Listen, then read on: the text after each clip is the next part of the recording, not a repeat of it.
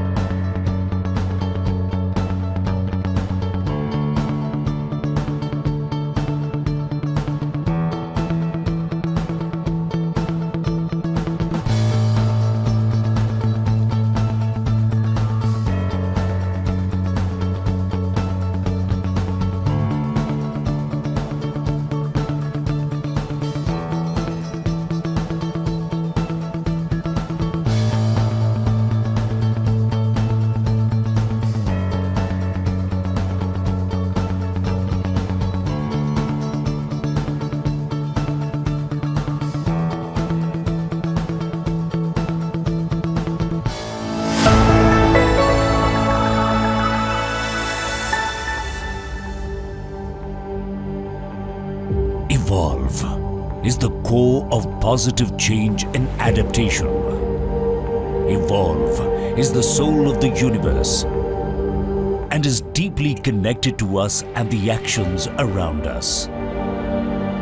There will be one thing that will last forever evolution. Be a part of the business evolution of India. WTC, World Trade Center, Delhi, at Nauroji Nagar. And be a part of the global culture. We keep our accomplishments fresh and we keep innovating this space. We are driven by the Government of India's vision to drive growth for India. We had a dream to bring the best of the world to India. And we had the vision to create a majestic, holistic and exclusive reality. Be a part of one of India's largest commercial space revolutions. WTC, World Trade Center, Delhi at Nauroji Nagar. The World Trade Center offers exceptional connectivity to all parts of the city. It is closely connected to places like Lutyens Delhi and its proximity to the airport makes it even more appealing. A luxurious, upscale and 12 towers offering the most technologically advanced office space and modern features in the city. Meticulously planned and crafted 12 towers. A landmark project with a massive land span of over 34 lakh square feet area. Infused with all the modern amenities with intelligent designs, green spaces and high-end facilities built with a vision, planned for a greener today and tomorrow. Dedicated spaces for cultural activities, F&B courts, boardrooms, health centers, multi-layered securities and modern parking facilities to name a few. With 24-hour security, state-of-the-art facilities and an impressive list of features for your business, there would be parking space for 8,000 cars. Our commercial office spaces will meet your needs to grow and expand. The spacious floor plans offers a unique, individualized workspace and ample natural light throughout the workday. All our locations in WTC will include state-of-the-art healthcare services, fitness centers, so you can get the most out of your workspace. A reality shaping, rising, shining and standing tall. The dream place for businesses and hospitality. A reflection of supremacy. A hub for businesses to flourish and thrive. Live the dream. Lead the way. Showcase, collaborate and succeed. Be a part of the business evolution. Be a part of global trade revolutions.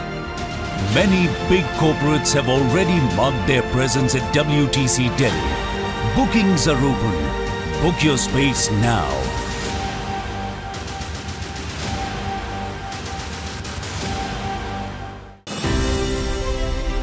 It is a fact of life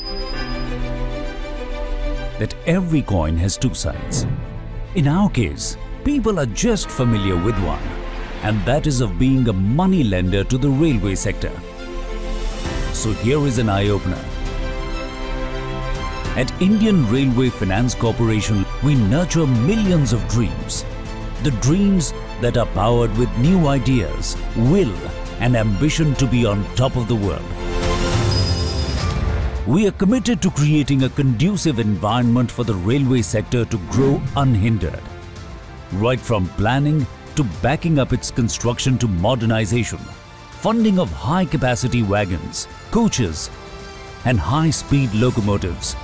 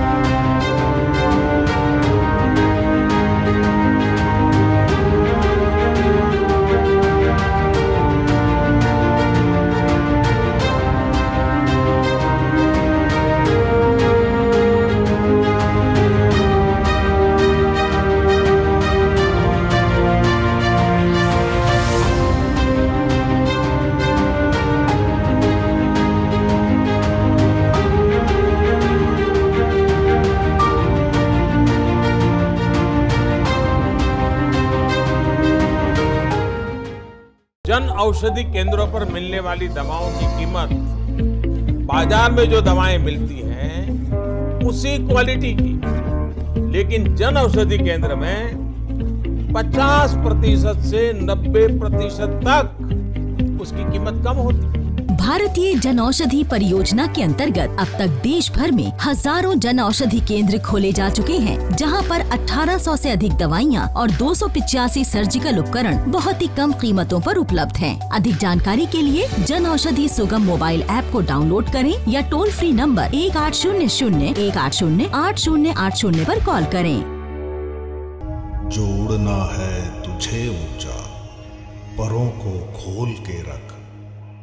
कसौटी वक्त की है हौसलों को तोल के रख। ऊँची है दीवारें लंबी है डगर।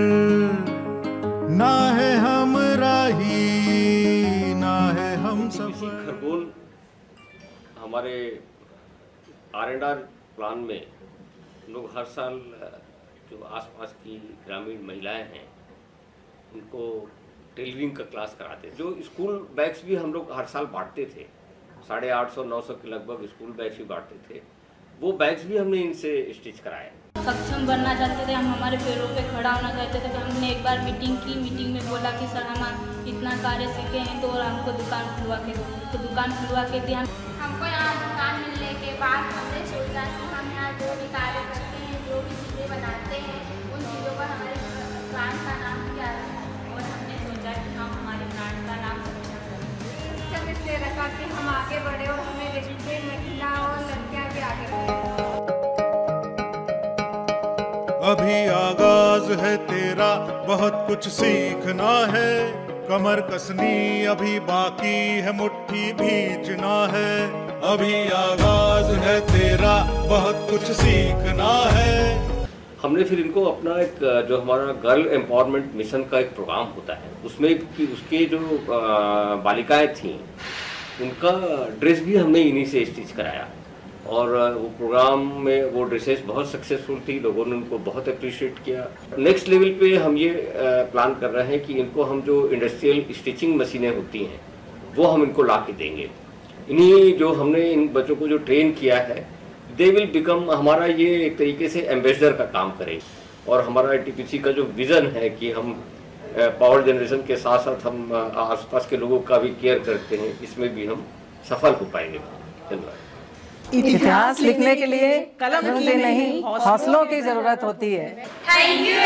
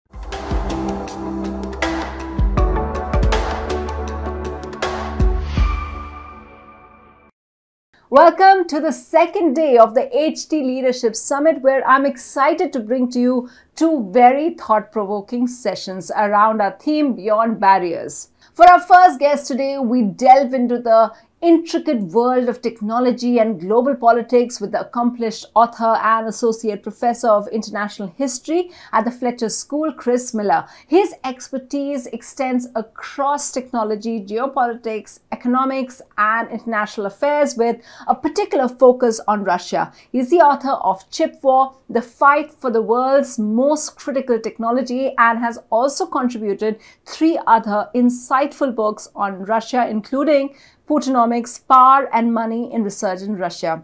He joins us now for a conversation with R. Sukumar, HT's editor in chief.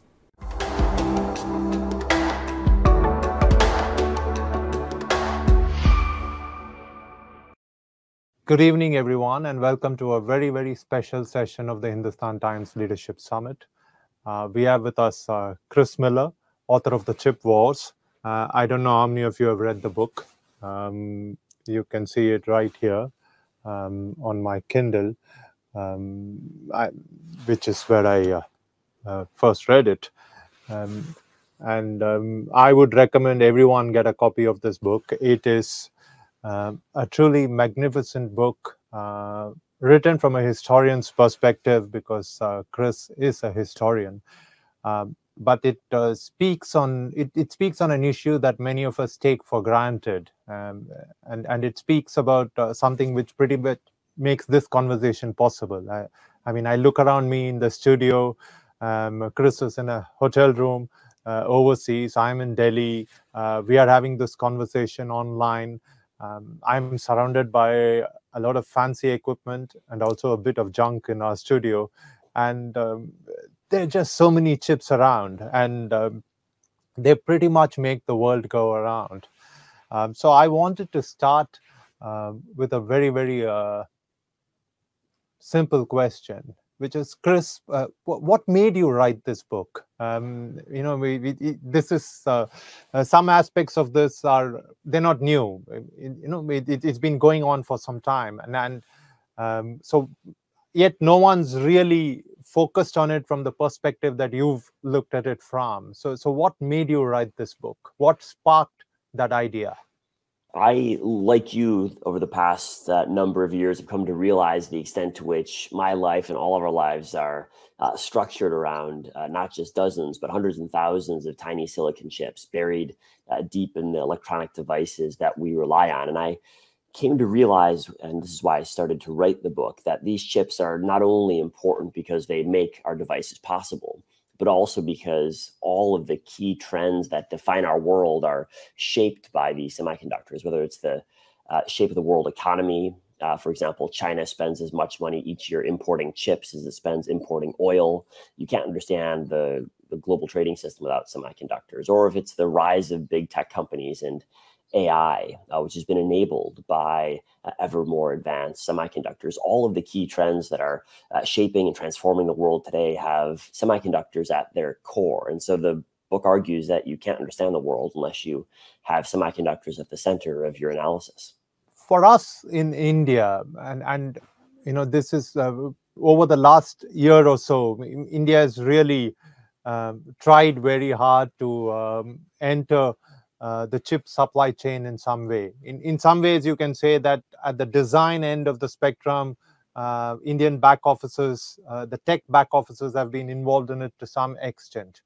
Um, but I wanted to ask you, what will it take? Because it's clear from reading your book that um, this isn't simply about uh, plonking down a big bag of money and and saying uh, let's build this industry. There is there is an ecosystem and and, and there there are various aspects to the ecosystem from from the uh, pure science at one end to the completely lucrative market at the other right? I mean and uh, so what will it take to build a chip a chip ecosystem today in this day and age well, I think every country today is looking at where they can fit in the chip ecosystem because right now there's not a single country in the world that is anywhere close to having a self sufficient uh, supply chain domestically. Everyone is reliant on uh, someone else. And so, for countries and for companies, the challenge is to find the niche where they have a comparative advantage uh, and where they can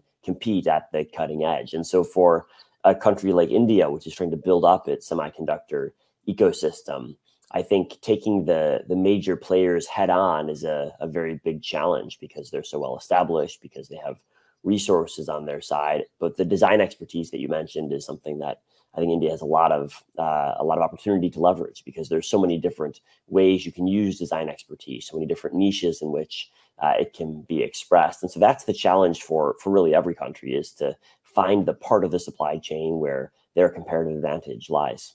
If you were to evaluate the prospects of various countries, um, um, do you think India has a chance of succeeding in its effort to, to become a part of this ecosystem?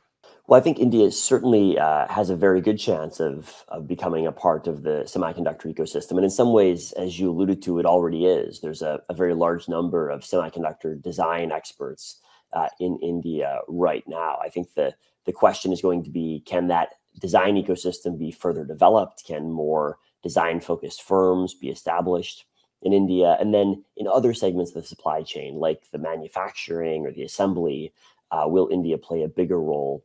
in those segments as well. And the challenge is that there's competition in every step of the supply chain. Uh, India is not alone. Uh, most other major economies around the world are trying to build up their own semiconductor industries. And so when governments and companies think about where to insert themselves, where to focus, they've got to look at the entire competitive landscape and ask where their competitive advantages actually lie. Um, what, what about China? Because uh, China has really made a concerted effort uh, over several years to, to, uh, really uh, create space for itself in this ecosystem. They, they've plowed uh, billions of dollars into this effort. Uh, do, do, you, uh, do you think they have succeeded to some extent?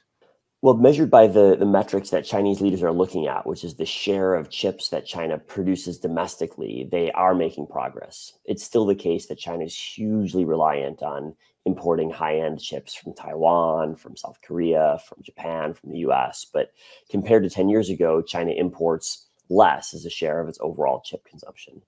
But a lot of this has been done in non-economically viable ways. It's been happening because the Chinese government is pouring really vast sums into the industry. And I think that suits the interests of Chinese leaders who are concerned above all about security considerations. It's probably not in the long run interest of uh, Chinese uh, citizens because it's driving up costs, uh, spending huge sums of money uh, without actually producing very many viable businesses. I think China shows the challenges of trying simply by brute financial force to break your way into the industry. You can do it in certain ways, um, but the resource expenditure is vast, tens and tens of billions of dollars every single year. And even then, that doesn't guarantee you actually have viable companies at the end. One of the interesting uh, trends we've seen over the last few years is, is uh, um, a realization that there are limits to globalization.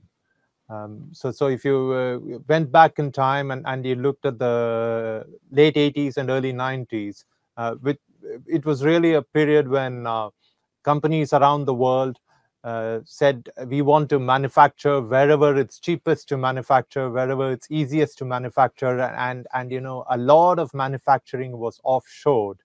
And and I think what we've been seeing, um, and in some ways the pandemic sort of uh, perhaps heightened or quickened this realization, is, people realized the criticality of certain product categories and and and said it it, it makes sense.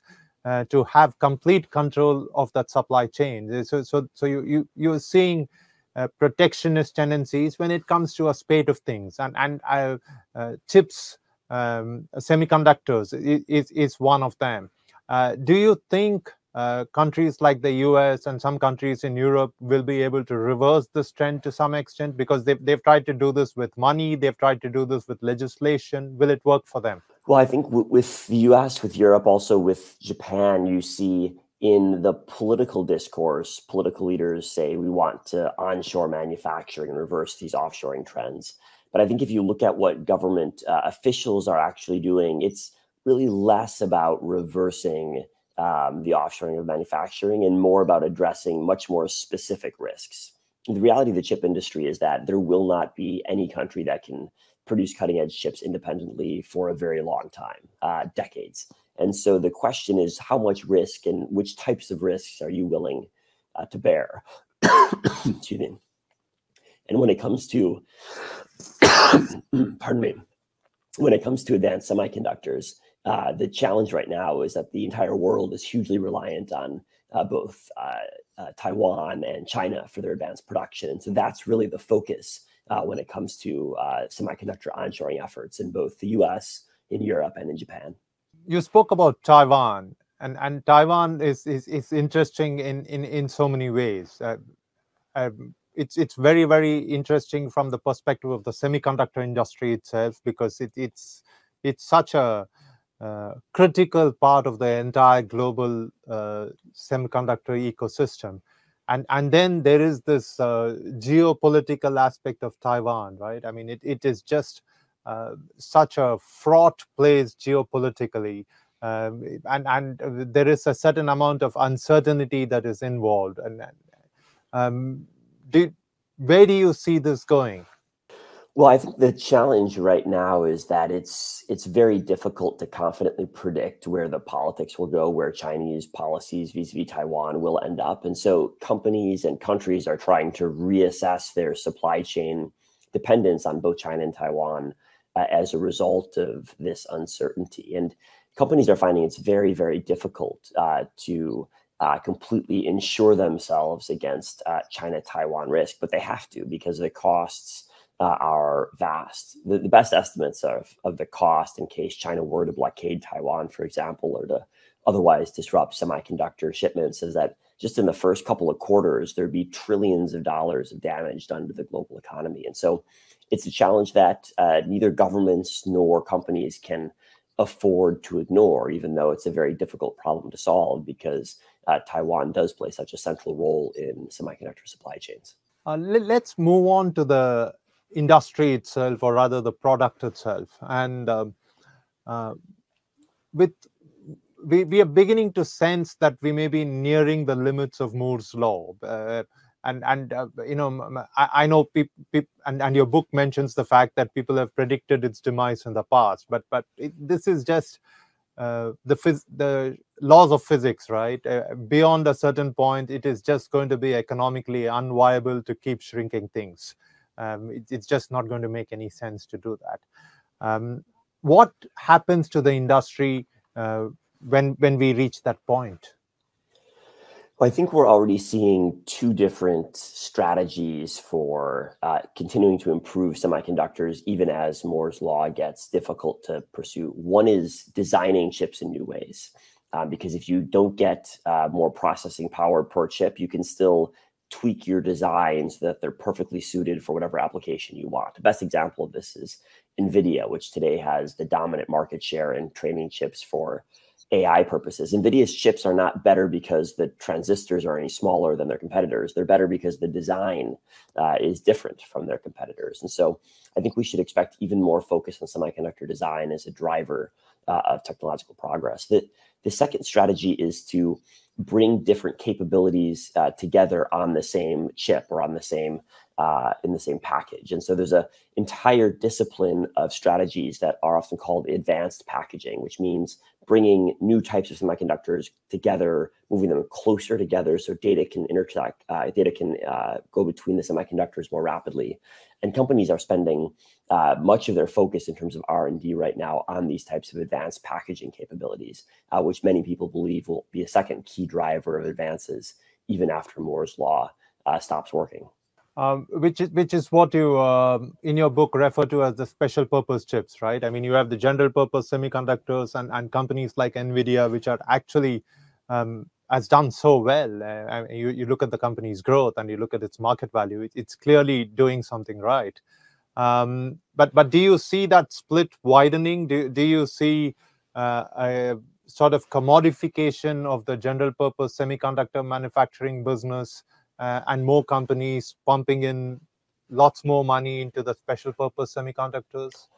Yeah, I think that that is what we should expect to see, and we already do see it in the in the early stages. It's not just Nvidia; it's also all of the big tech firms, Microsoft, Google, Facebook, Amazon, are designing uh, their own chips. Then increasingly, I think in industrial and automotive applications, we should expect more and more companies to uh, begin designing their own semiconductors as well. Uh, on the grounds that if they can have chips that are perfectly optimized to their use cases, they'll get major performance uh, increases. So if you look, for example, at Tesla, uh, Tesla designs its own chips for uh, for Tesla cars, and they're the most uh, semiconductor savvy of all the world's auto companies. But I think they won't be alone, and many other companies will begin exploring whether they can also get comparable performance improvements by having specially designed chips. What is the next big thing? Um, because um, you know we you you've always had um, these products or commodities or technologies which which shape geopolitics, and and um, uh, your book makes it very clear that for the last 20 years at least, uh, the semiconductor has, has played a very, very important role in this. Uh, what next? Um, what could possibly uh, drive the future? Well, I think the, the big challenge that the tech industry faces over the next decade is to apply artificial intelligence to uh, the rest of the economy. We already see companies like OpenAI or Google beginning to try to understand what the, the killer use case of AI will be, but we're still in the early stage uh, of that process. Uh, there's still very few either consumer or industrial applications of AI that are scaled. Uh, and so I think that will be the, the key um, challenge and the key opportunity for the tech sector uh, going forward. And the the capabilities that semiconductors have made possible uh, in terms of AI are tremendous. But right now, we're still in the very, very early stages of how this will begin to be applied uh, to the rest of the economy. And so that's where I see the most scope uh, for growth over the coming decade. Um, I'm, I'm uh, going to ask you a hypothetical question, uh, which is um, suppose we are uh, back in the era of Fairchild, right? I'm, at, at a time when Silicon Valley hasn't even been born. All these guys are still in the East Coast, um, and, and they're just going to make the move. And um, decisions that they took, uh, including strategic decisions, and uh, over the next 30 years, meant that the industry ended up where it was, uh, setting the stage for your book. What are the things they could have done um, with the benefit of hindsight, clearly, uh, to ensure that the industry remained concentrated in the US, at least in terms of manufacturing and the science and the technology. The market, of course, is global. Uh, but suppose you were to apply uh, today's fairly protectionist uh, mindset when it comes to critical industries to something like chips back then, what would you do? Well, if you if you had the perfect benefit of hindsight, you you certainly could have influenced how the industry would have played out. For example, you would have made tax policy and uh, incentive policy quite different. You would have tried to fund the development of uh, semiconductor foundries like Taiwan's TSMC uh, in the United States. Um, that's certainly possible to imagine if you assume perfect hindsight. But the reality is that uh, given that the industry needs to race forward at an extraordinarily rapid rate to provide the technological advances that we rely on. Policymakers, government officials, even industry leaders struggle to understand exactly the ways the industry is changing. And so, uh, rather than uh, 2020 hindsight, we all live in this situation of radical uncertainty about the future. And uh, if if industry leaders are uncertain, then you can be sure that government uh, officials are even more uncertain because they're less close to the technology. And so that's that's why policymakers have often struggled to understand and try to shape the chip industries because it's racing forward so rapidly they simply can't keep up. One final question on the technology bit. Uh, while we've looked at uh, special purpose and general purpose, uh, one one of the other areas where um, a lot of research is happening is, is on the material itself right? I mean, uh, the quest for uh, the perfect alternative uh, to silicon, which, which, which can really probably make chips faster and smaller. Um, do you think that's uh, going to be possible? Do you think that will ever be economically viable, or do you think that's just going to be one of these uh, cold fusion kind of things, which which uh, sound good in a laboratory environment but never really get proved? We've seen some alternatives for silicon in certain niche use cases, for communications use cases, um, for sensors. Uh, if you look at the semiconductors that are used in electric vehicles to manage the power supply, they're often made of silicon carbide rather than pure silicon. But thus far, all of the non silicon use cases are for niches rather than for computing. Uh, and I think we're going to be in a world dominated by silicon based computing uh, for a very long time. The entire industry is structured around it. There are tens of thousands of uh, PhDs that have been written uh, on silicon and its various properties. the rest of the tooling and the software and all the other chemicals involved have been uh, designed to work in this silicon silicon dominated ecosystem. And so it'll be very, very difficult, I think, to move away from that, even if other materials do theoretically exist. I'm going to end with a couple of questions on uh, the geopolitical aspect of it again. Um, and, and last week, again, we saw um, more measures by the US to prevent uh, uh, high tech uh, AI enabled chips, um, you know, the, the, the special purpose chips with for AI that we were talking about to, to ensure that that technology uh, wasn't easily passed on to China. Do you think these kind of measures will work? Well, I think they'll certainly uh, work in terms of diverting chip supply away from China towards other markets. Um, the, the question, though, is uh, how does it impact China's AI industry? Because, as you say, the controls are explicitly targeted at AI chips. And I think we should expect China to try to find workarounds. For example, if you don't have the most cutting edge AI chips, can you use larger numbers of less cutting edge AI chips to achieve the same result? You certainly can in theory. Uh, and so I think that's where China is going to spend much of its focus is trying to find alternative ways to make up for the fact that it won't have the most cutting edge chips. And there's not a lot of doubt that it's going to be a long time, half a decade, maybe a full decade before China has a chance of catching up in terms of chip manufacturing. But if there are other workarounds China can find, then it might be okay, uh, even if it doesn't have access to the most advanced chips. Last question. Uh, do, do you think uh, moves like nearshoring will succeed if you throw enough money at them? I think we've already seen in, in the US and Japan and Europe a real response from private sector investors to the subsidies that have been offered. And in some ways, that's not surprising. If government's going to subsidize people to build more factories, more factories uh, will be built. I think the question for nearshoring is once the government subsidies are gone, and they're not going to be here forever, will we end up with economically viable companies, facilities that can keep operating in a profitable manner or not. And that's that's still very uncertain. And that's the challenge that I think all government policy efforts face is it's one thing to throw subsidies at a problem, but it's a very different and much harder challenge to do so in a way that actually leaves you with viable, profitable businesses at the end. And I think for all of the Western nearshoring efforts, that's still very much a work in progress. You've studied this uh, industry very closely and you've studied it from a perspective that few others have looked at it. Um, I've always found it very interesting that uh, when, when, you look at uh, the technology industry, and, and, I'm using the word technology in a very, very uh, liberal sense. If you look at the technology industry at one end, um, which, which is really the core, um, are the semiconductors, um, uh, which, which really power everything.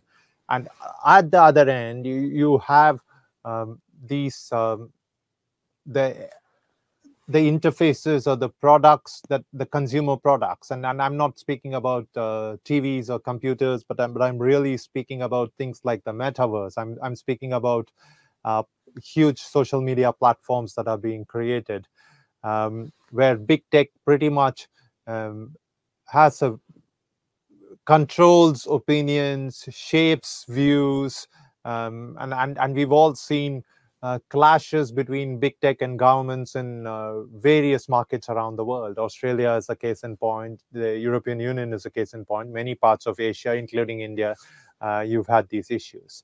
Um, which side, and, and you know, since, since um, you've written about imbalances and balances, uh, which side do you think is more powerful? Do, do you think it's, it, it's the big tech guys at, at uh, the consumer end of the spectrum, or do you think it's it's really the chip guys? Well, I think we it's easier to see the power of the big tech companies because that's who we interact with on a regular basis. Um, but of course, all of the big tech companies are able to produce products only thanks to the semiconductors inside of them.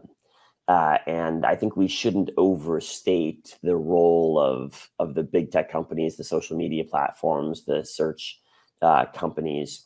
Uh, certainly, it's important, but in many ways, they're relying on a very concentrated supply chain of its own uh, in the chip designers and the manufacturing in Taiwan and the machine tool and chemicals that are produced in Japan and the Netherlands.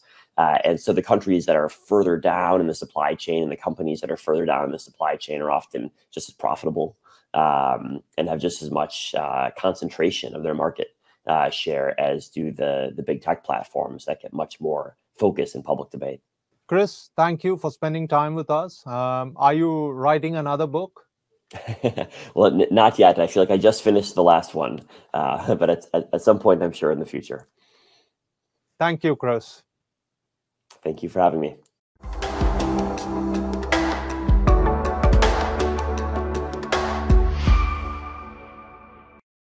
In our next session, we talk about an issue that is very crucial at the moment. You may have heard a lot about One Nation, One Poll, and there are very strong views on both sides. So I spoke with former Election Commissioner Navin Chawla and Milan Vaishnav, the director of Carnegie South Asia, to understand all sides of this debate.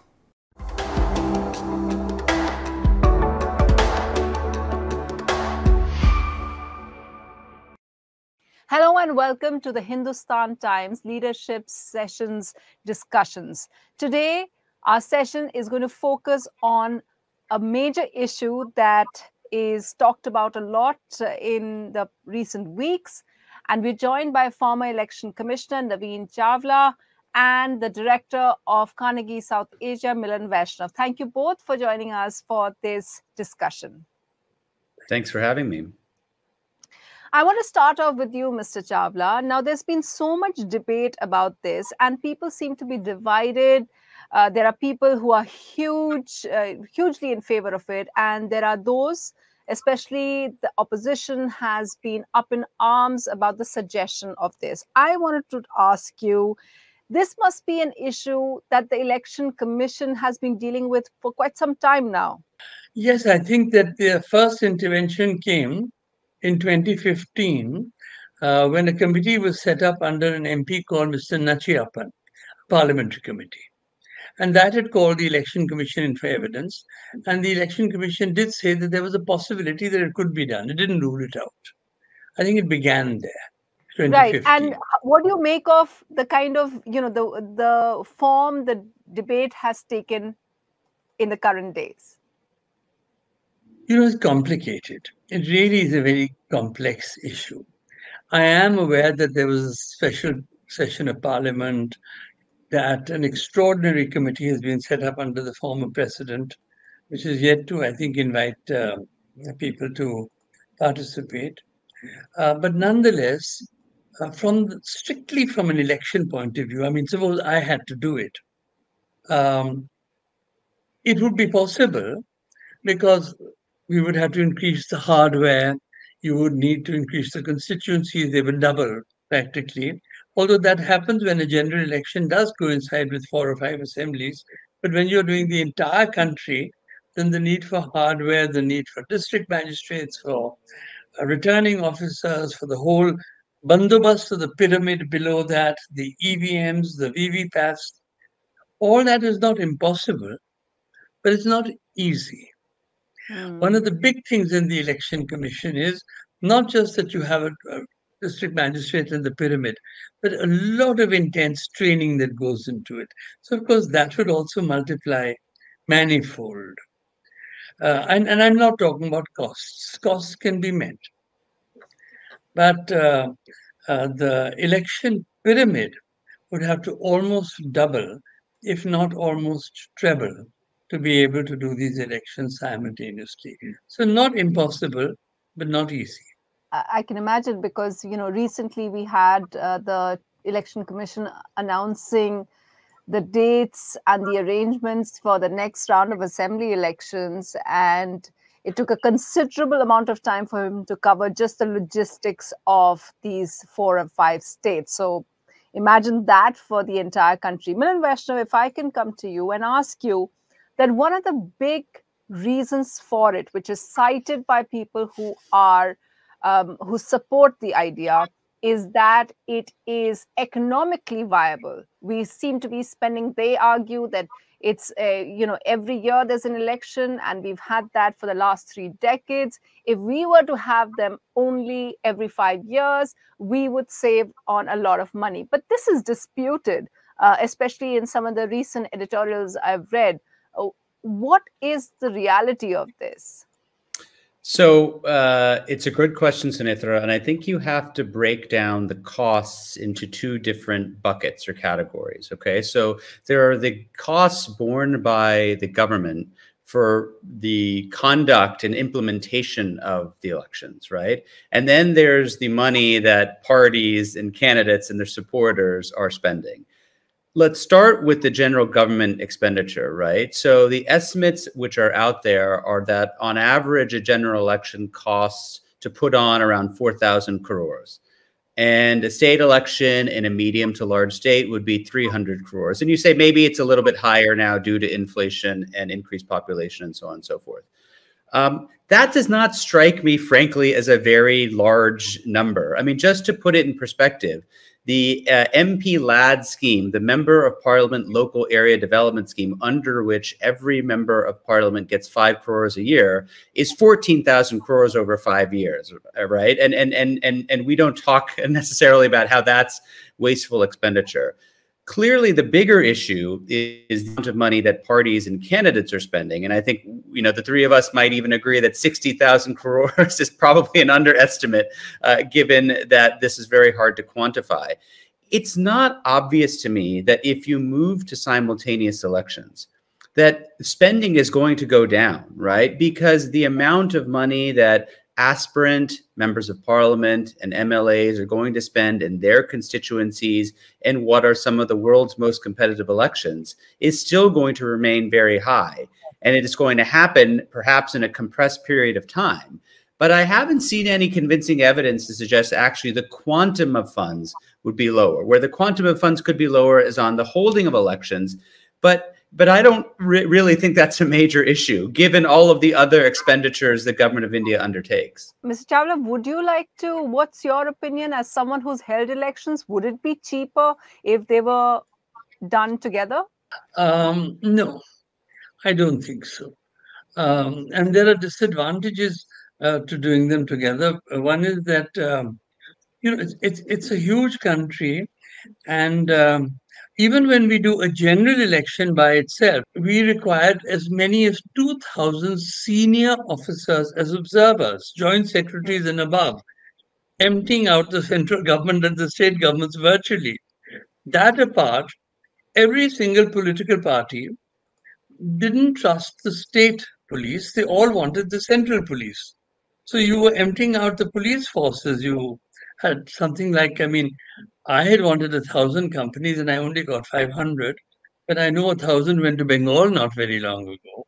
So yes. now, when you quantify this into um, a, a general election and simultaneous elections, then everybody has got used to demanding observers and central forces, and how exactly and where they can come simultaneously is something that if I were in the election commission would beat me. I mean, I wouldn't know where to get. So, uh, so once again, going back to the point that yes, we might consider it doable from the election point of view, but would it satisfy uh, the political arena? Because we are not only talking about established political parties, we're mainly talking about those who are in opposition, whether it's at the center or the states who demand a, a level playing field. And for the yeah. level playing field, everybody's got used to observers and the police bandobast from the center. And what about the poor individual candidate who may not have a political party behind them? Don't, aren't they also entitled to an equal level playing field? So the election commission being seen as a fair umpire to really be fair down to, because you know we're very noisy people and if one VVPAT doesn't work or one EVM breaks down somewhere, you know, we're all over the newspapers, even if it's just one in two.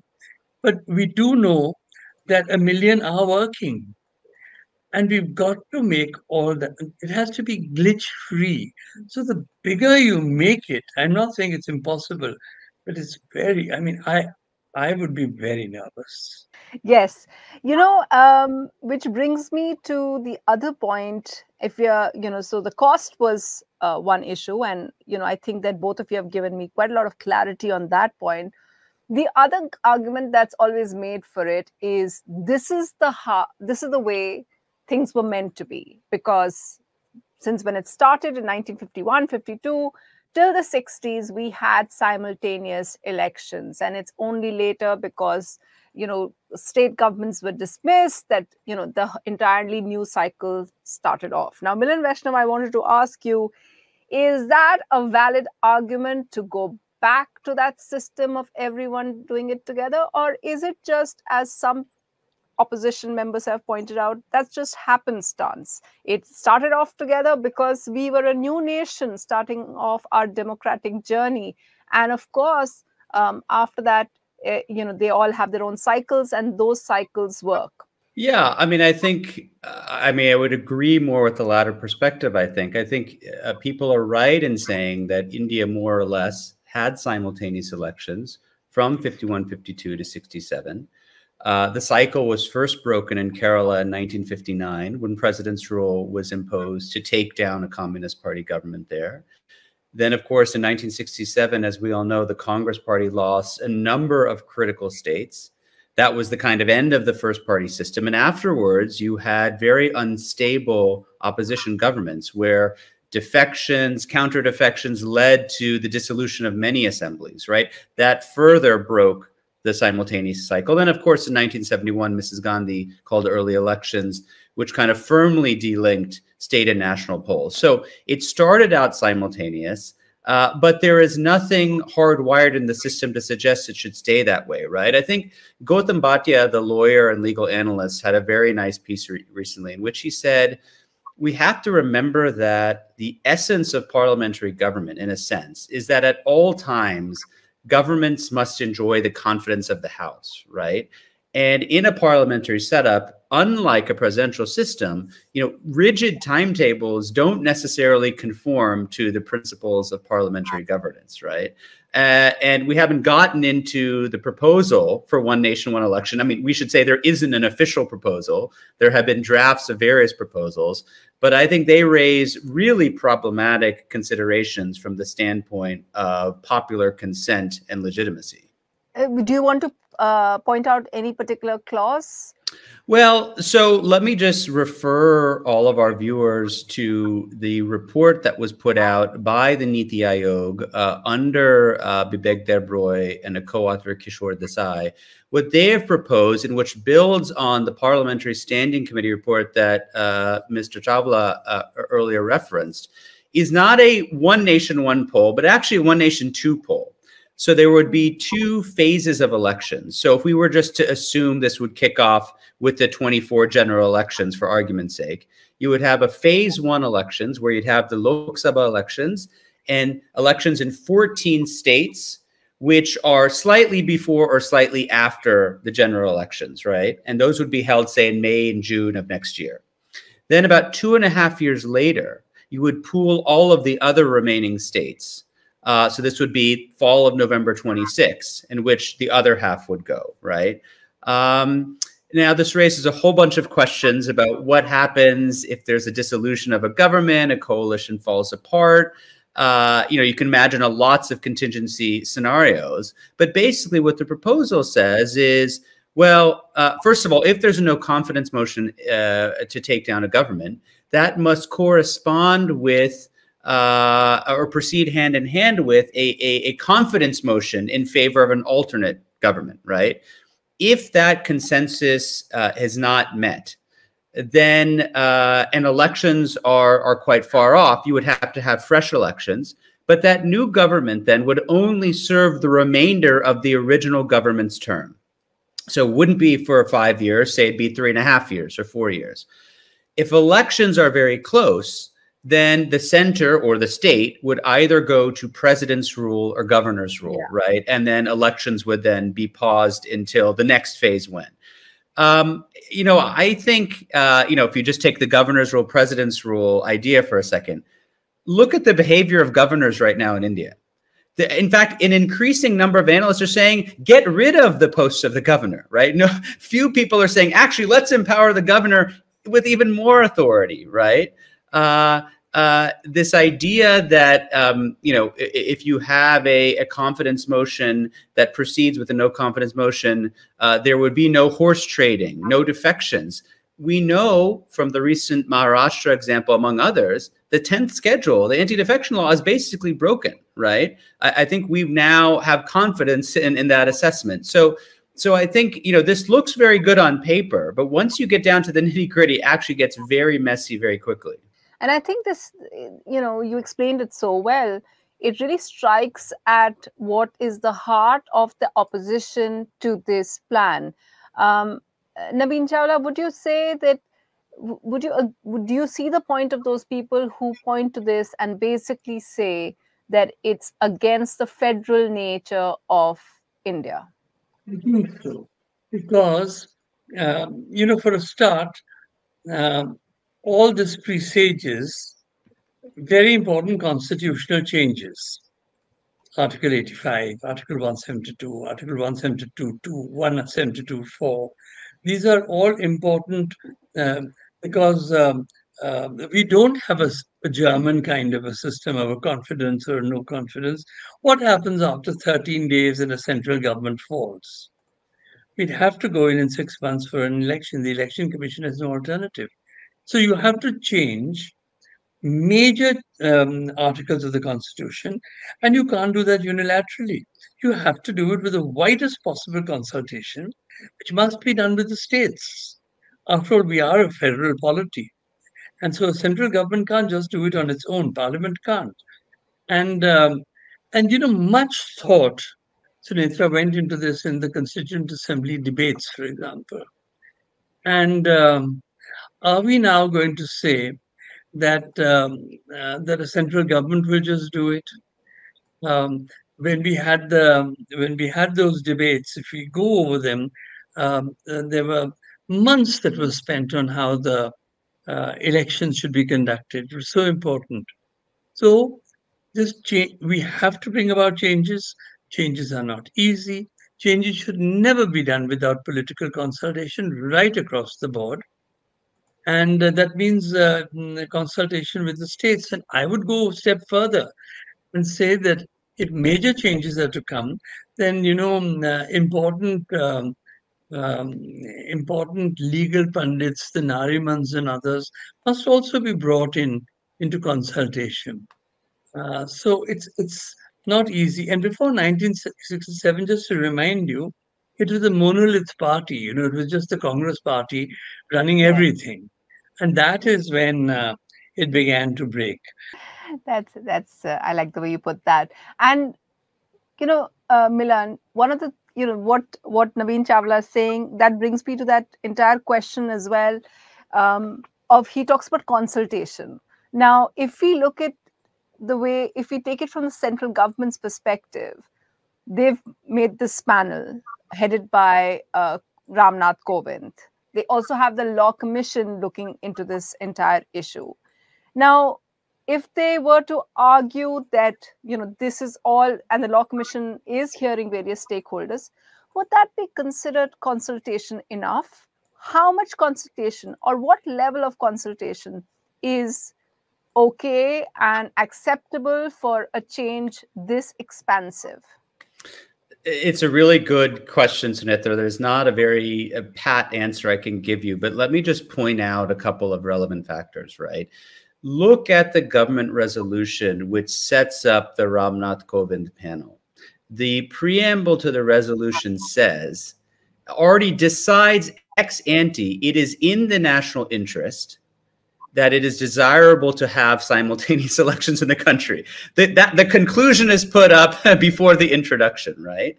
Uh, secondly, the terms of reference ask the committee to investigate whether the assent of half of the state assemblies will be necessary for constitutional amendment purposes. You know, there are many categories of constitutional amendment that require different thresholds. Now, the Constitution lays out in Article 368.2 what types of amendments would require state ratification. I'm not uh, well positioned to make a determination on that, somebody who's not a constitutional lawyer. I would just point out that the Law Commission in its draft 2018 report, and it was never finalized, did say that the center uh, should get such ratification if it advances the proposal, right? Um, if you look up the makeup of the committee, um, we know that the Congress uh, leader in the Lok Sabha has decided not to take part because he thinks that uh, the, the deck is already stacked. It's not clear where the consultation with states truly comes in because they're not represented uh, in this venue, right? And so, uh, you know, not to sound so cynical, but it sounds like this is kind of a fait accompli. Uh, you create a committee to give it the veneer of acceptability, but actually you've already kind of baked the cake. Sorry, I'm mixing a bunch of metaphors here. No, I and no, but it kind of fits in really well. So, so Mr. Chawla, are we to, are we to, if you look at it practically speaking, uh, first of all, I want your comments on this committee. What do you make of the composition of this committee? Because there have been questions about whether, and, and that's what Adhir Ranjan Chaudhary, that's what Milan uh, was referring to. Adhir Ranjan Chaudhary uh, objected to this as well, that uh, that's why he wouldn't join it. Um, do you think the composition of this committee going into is that is that a fair one? Well, I don't know about that. It is unusual to have a committee under a former president, but then uh, there can be uh, new precedents that are set. I think we need for a moment to go back to the details which Milan had uh, brought out of the Natchiappan committee. Now, that was a parliamentary committee, and that uh, devoted a lot of time and took a lot of evidence. But if you look at the conclusions of the Natchiappan committee, it's not very neat. Um, you know, some assemblies lose part of their terms, some assemblies gain part of their terms. You're kind of drawing a partition line halfway through. Is that going to work without consultation with the states? I don't think so. I mean, uh, people will go straight to the Supreme Court, and that's where it would lie. And that is why even the Natchiappan committees give it as a kind of suggestion. Um, but it seemed to me, to me, mm, you know, somewhat flawed, very difficult to actually implement. Now, whatever other committee sits, um, I, for the life of me, can't think of what other formula might come in that will enable everything to come together, not to mention the enormous bandobast that the election commission would have to, to carry out. I mean, we have to take that into consideration as well. It's not easy, not going to be easy. And as you know, and as Milan knows all too well, we are very argumentative, we're very noisy, and every single vote counts people have lost elections and states have um, and, and, their chief ministerships by a single vote, as you know. Yes, yes. Uh, and we have managed, for example, in the 2009 election, we managed a pretty perfect election. You know, it became quite a good um, export article for the prime minister because wherever he went, he was congratulated. But, but try fiddling with the vote. So it's mm, um, uh, and you know, we all this is, and there's such a big debate going on about EVMs anyhow on the side. Half the people don't seem to trust those. Although I've whatever I had to say, like Milan, I've cast in stone. I've also taken things from him about crime paying. Uh, but these are all things that uh, don't lend themselves to easy elections. Milan, do you want to add to this? Um, I just, uh, you know, um, do you think that I know that Navin Chawla is saying that every vote counts, but in the past few weeks and months, we've seen very tricky uh, legislation uh, being passed just by the fact that the BJP uh, has such huge numbers and a majority and the backing of in Rajya Sabha, they have the backing of parties like the YSR party and the BJD, and they are able to negotiate really tricky legislation and even things which need that kind of two-third uh, majority. Do you think it will if it comes to that it will be very tricky for them to get this through? Well i think it is a high bar Sunetra precisely because of the impact it's going to have on federalism and on state and regional parties, right? I mean, this really gets to the core of of of, of their existence, right, and and their political uh, competitiveness. Having said that, we have seen them pull rabbits out of hats time and time again. Uh, you know, uh, of course, they were able to muster the strength to pass the GST. We witnessed what happened with Article 370, which at one point in time was controversial. Uh, we've seen what's happened with the EWS reservations, right? Uh, we have yet to see what might happen with the Uniform Civil Code, but one can imagine them actually uh, mustering the support for that. So, um, you know, I think from the perspective of the center, it's obvious why they would want to push for this, right? I think there's two reasons. One is is to reinforce the power of the BJP. You have a, the, the most popular prime minister in, in recent memory, without a doubt. I think polls continue to show that. And if you align state and national elections, you could take advantage of his coattails in a significant way. Uh, and this is, secondly, a government that appreciates uniformity, right? The whole idea with GST was one nation, one tax.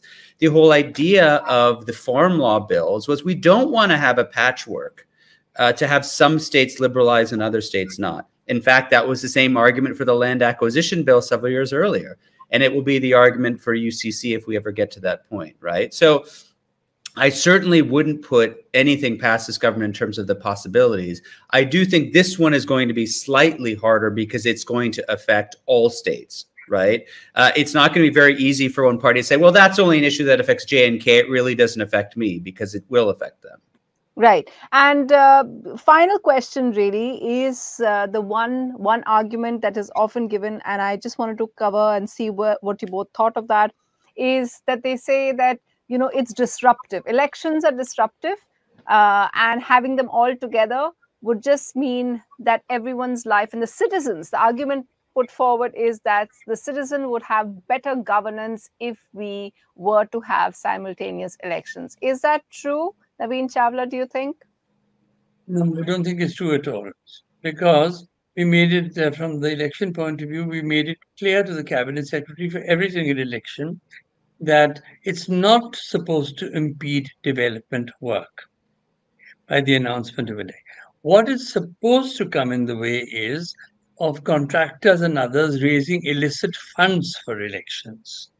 But if a ministry, so we set up a committee that if any ministry has any doubt, they can ask the cabinet secretary um, so that the normal work of government must go on. But it is often used as an excuse uh, by babus like myself in various ex-babus uh, in various places not to put the pen down and say, all right, I can't do any work for two and a half months or so. But that's certainly not the intention of the election commission. So it's it's a kind of trumped up excuse. But of course, if a contractor is now going to generate thousands of crores for road building, then that that of course the election commission will want to stop. Milan Vaishnav, do you think this argument is uh, is something that rings true for the BJP? Because you know one of the things that they're very proud about is that they put all their might behind even the smallest of elections. So when we saw the civic elections in uh, Telangana, you had the top BJP bosses uh, come down and campaign for that as well. Yeah, so I, I think, uh, Sunetra, this in fact, I think gets to the heart of the argument. I would say for the proponents of this reform, uh, this is even bigger than the cost issue, right? What is the argument? The argument is that uh, this constant election hamster wheel that India is on has a negative impact on development programs and governance due to the imposition of the model code of conduct, right? So uh, the Niti Aayog report suggests that on average, the model code is operational for about four months a year, which slows down governance. Uh, constant electoral compulsions lead to short term thinking in, in politics, which could be bad and the frequency of elections reduces risk taking, right? Now, it may be true that the model code of conduct is in operation for four months a year, but in select parts of the country, uh, aside from a general election, this isn't shouldn't be a nationwide problem, right? There is no need for national governance to stop. It is the BJP which has made a parliamentary system de facto presidential, right? Uh, there's there's there's nothing written in stone that national leaders have to campaign uh, for state elections. Perhaps state units should be in charge of state elections, right? So so I'm not sure how compelling that line of argument is. Uh, on the question of short-termism and electoral compulsion, um, if you think about the draft proposal, uh, assume you have a, a, a, new government that comes to power via a fresh election if a previous government fails. It would only serve out the rest of that original government's term. That kind of undermines the argument because then you'd have an even shorter period in which you're in power and would lead to even even more elections, right? on the final point about risk taking and whether or not elections reduce risk taking, you know, I mean, not to be too flippant about it, but think about the evidence of the last decade. Big risks have been taken, right? Demonetization, farm law bills, GST 370, EWS reservation. Elections didn't come in the way of, of any of those things, right? So, so um, uh, intellectually, again, I understand the argument, but I, I, think when you break it down, it doesn't. It, it for me is not as, as as compelling as it might be at first glance. Well, I want to thank you both because uh, you've really um, you know clarified on all those points, and uh, it's been enlightening to hear you both. Navin Chawla, Milan Vaishnav, thank you so much for joining us on this Hindustan Times leadership discussion.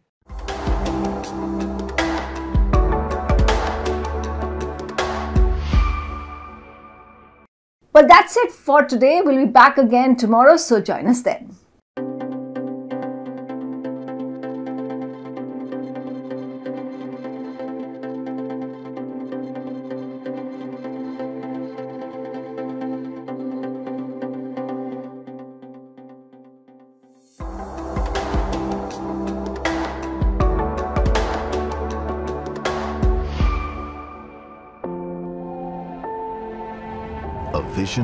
Becomes a milestone when it helps make our lives richer with love and laughter.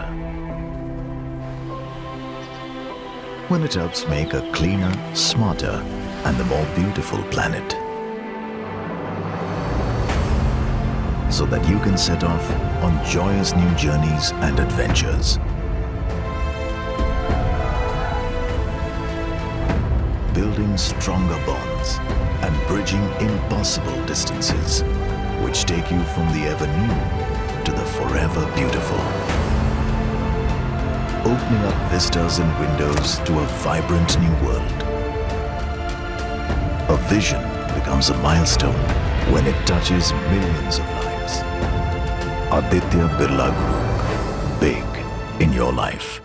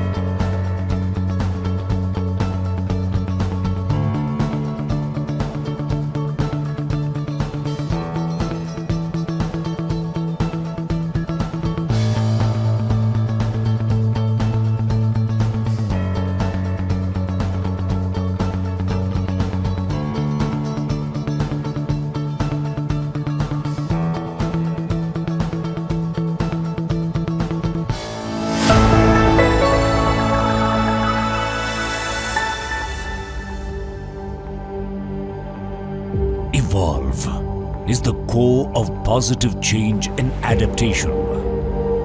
Evolve is the soul of the universe and is deeply connected to us and the actions around us.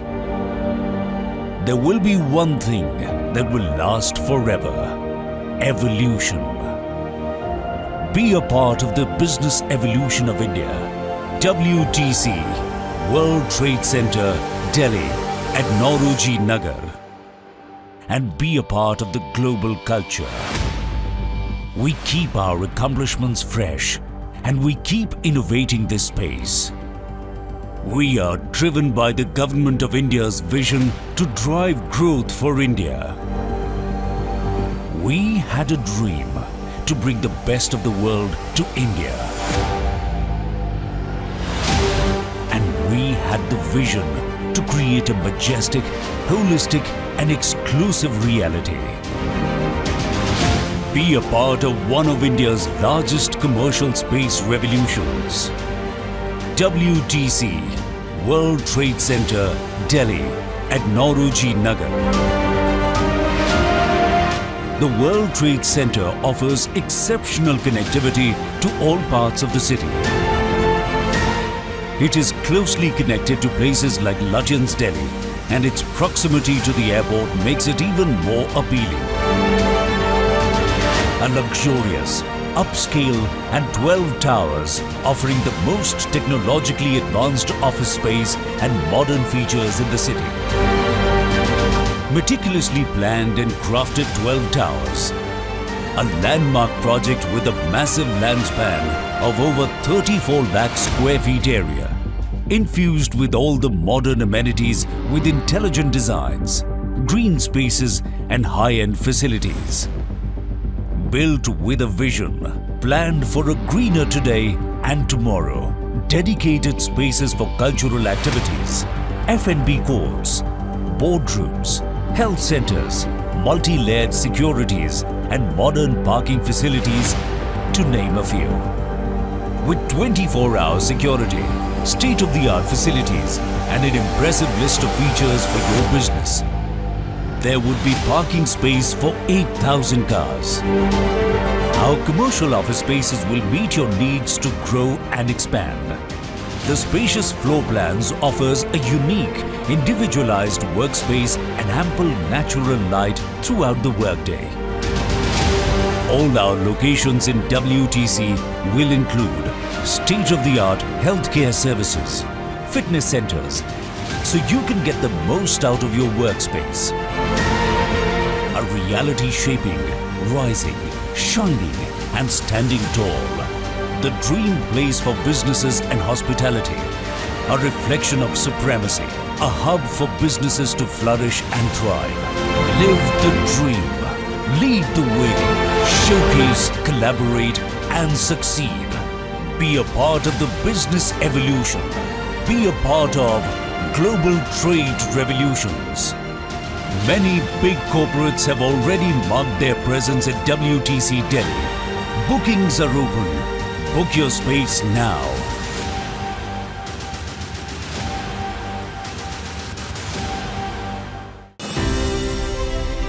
It is a fact of life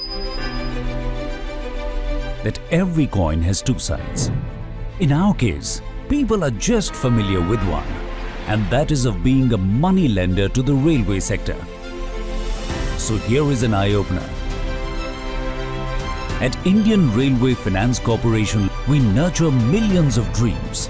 The dreams that are powered with new ideas, will and ambition to be on top of the world. We are committed to creating a conducive environment for the railway sector to grow unhindered. Right from planning to backing up its construction to modernization, funding of high-capacity wagons, coaches and high-speed locomotives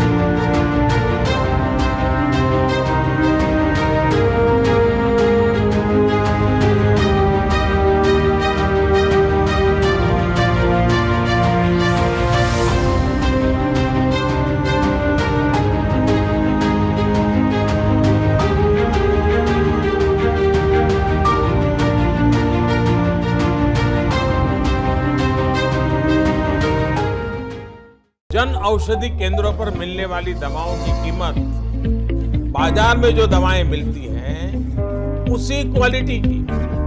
लेकिन जन औषधि केंद्र में 50 प्रतिशत से 90 प्रतिशत तक उसकी कीमत कम होती। है भारतीय जन औषधि परियोजना के अंतर्गत अब तक देश भर में हज़ारों जन औषधि केंद्र खोले जा चुके हैं, जहाँ पर 1800 से अधिक दवाइयाँ और दो सर्जिकल उपकरण बहुत ही कम कीमतों पर उपलब्ध हैं। अधिक जानकारी के लिए जन औषधि सुगम मोबाइल ऐप को डाउनलोड करें या टोल फ्री नंबर एक आठ शून्य शून्य एक आठ शून्य आठ शून्य आठ शून्य आरोप कॉल करें जोड़ना है तुझे ऊँचा, परों को खोल के कसौटी वक्त की है। हौसलों को तोल के रख। ऊँची है दीवारें लंबी है डगर। ना है हम राही ना है हम सफ़र। खरगोन हमारे आर एंड आर प्लान में लोग हर साल जो आसपास की ग्रामीण महिलाएँ हैं उनको टेलरिंग का क्लास कराते जो स्कूल बैग्स भी हम लोग हर साल बांटते थे साढ़े आठ सौ नौ सौ के लगभग स्कूल बैग्स भी बांटते थे। वो बैग्स भी हमने इनसे स्टिच कराए।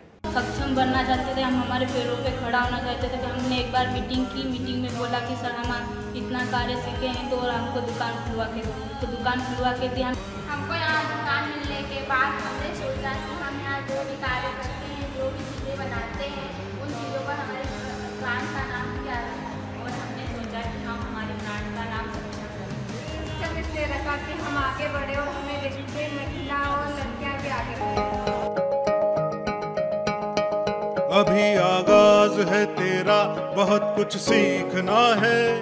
कमर कसनी अभी बाकी है, मुट्ठी भींचना है। अभी आगाज़ है तेरा, बहुत कुछ सीखना है। हमने फिर इनको अपना एक, जो हमारा गर्ल एम्पावरमेंट मिशन का एक प्रोग्राम होता है, उसमें कि उसके जो बालिकाएँ थीं, उनका ड्रेस भी हमने इन्हीं से स्टिच कराया। और वो प्रोग्राम में वो ड्रेसेस बहुत सक्सेसफुल थी, लोगों ने उनको बहुत अप्रिशिएट किया।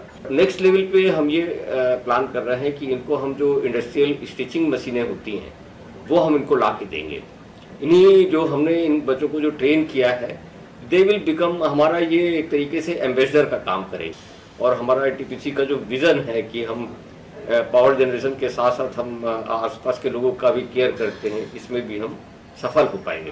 धन्यवाद। इतिहास लिखने के लिए कलम की नहीं हौसलों की ज़रूरत होती है। Thank you